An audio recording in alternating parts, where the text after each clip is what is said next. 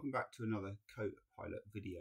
So in this video, I'm going to show you how we can use Copilot within the Edge browser to act as a reference checker for a university dissertation or presentation. So you can see here I have a university uh, presentation. This is a presentation that's been saved into PDF. Um, this is actually a document that my wife is working on for her university degree at the moment.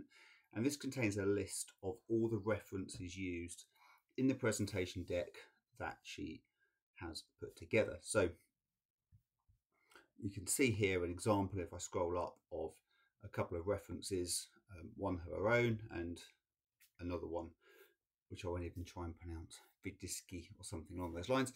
And the goal here is to make sure that I have correctly referenced everything and that I don't have any citations in the document that I haven't included in this reference. So to do this, I'm going to use Copilot. So I've opened this within the Edge browser. You'll see at the top right of the screen, I have Copilot. So if I bring Copilot up, it will load by default like this. Um, now I'm going to choose to use the creative mode. Um, I can use various different modes within within Copilot. I find that uh, GPT-4 Creative um, is often the best. Now, when I when I do this for the first time, you'll see here that there's a drop down that asks me what resources I want to use, what sources. So I'm actually going to select this page. So this means that the prompt that I run will only analyze this content. It won't go out to the internet or try and do anything smart. It will just use this content. Now, I've written a prompt already, which I'm going to paste in here. Uh, and you can have a quick look through what we're asking it to do. So I'm telling Copilot that it is a, an examiner reviewing a student's work. I've told it that the presentation contains a set of citations. I've given an example of what one of those citations looks like. And I've also told it at the end of the document there is this reference page, which you're seeing now. I've then asked it to please check that each reference in the main text has been referenced correctly and do this by creating a table with the references found in the main body and then confirming them. Um, you will know I've got some spelling mistakes in here. Uh, Copilot actually doesn't really care too much about spelling mistakes. It will work it out for me. I'm now going to hit submit and we will see what Copilot does. So the first thing that happens is it pops up and says, look, you know, this might be confidential information. I'm not going to share this, so it won't use this information or save the chat history. So I'm going to say, yeah, that's absolutely fine. Off we go.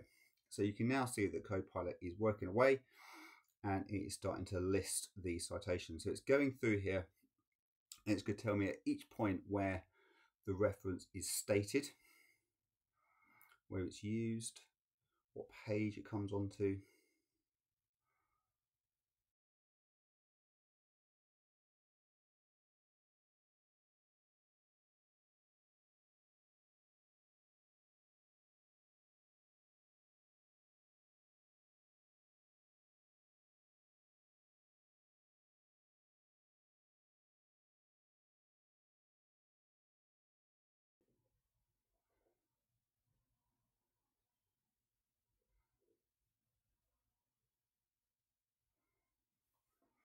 Now, what's interesting here, so it's gone through and produced this table for me, which is quite nice. I can actually ask it to read it aloud for me if I want to.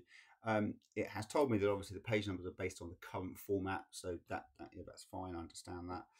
Um, what's also useful is it's told me here that there is uh, a year mentioned in the text citation for uh, Bronfenbrenner, which should be 1989, but the reference is listed at 1979. So it's telling me there's actually a discrepancy in the reference that it's found. So a really quick way we can check that is simply to copy this piece of text here because I'm bound to spell it wrong.